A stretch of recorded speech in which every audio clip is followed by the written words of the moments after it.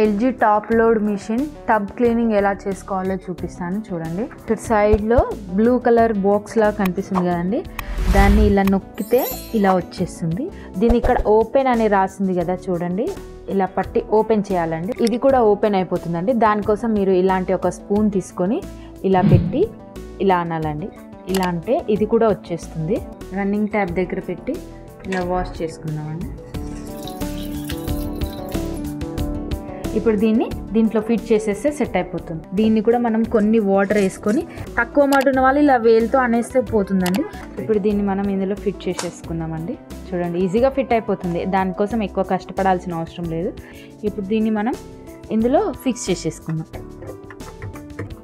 చూ మళ్ళీ ఇంతకుముందు మనం ఎలా అయితే ఇవి వీటిని నొక్కి పట్టుకున్నామో ఇప్పుడు కూడా సేమ్ అలానే మళ్ళీ నొక్కి పట్టి దాంట్లో ఫిట్ చేసేస్తే సెట్ అయిపోతుంది. చూడండి సెట్ అయిపోయింది.